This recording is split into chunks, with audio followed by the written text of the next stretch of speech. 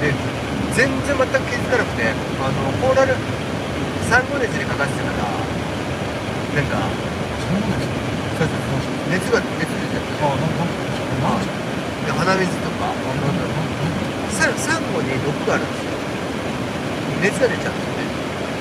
マジ？そうそうそうサンゴにやられると足が出る熱がやりました。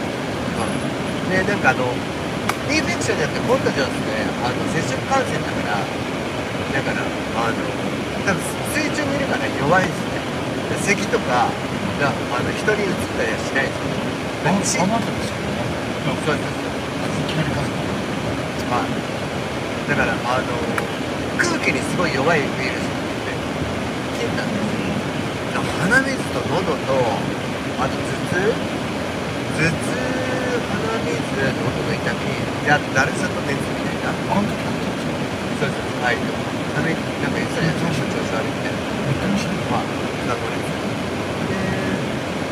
なんかあの目目にシャワーとかこうやって当てるじゃないですか自分目洗うのにいつも目洗うんですよ。でそれが痛いんですよ。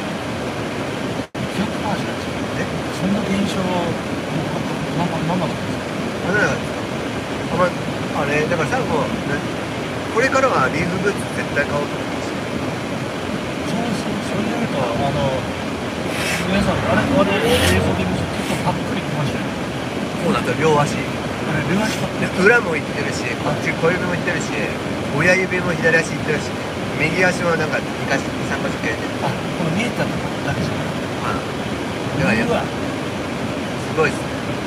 鼻水黄色くなっちゃうし。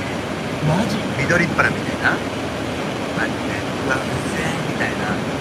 で吸っても吸っても吸って出してもあすっきりしたと思ってもすぐ溜まっちゃうんですよもうあのあの帰りからですよ。はい。い今もないんですよあそうそうだやばい。っすで昨日ねあのこれ買ったんですよ。これがいいっすね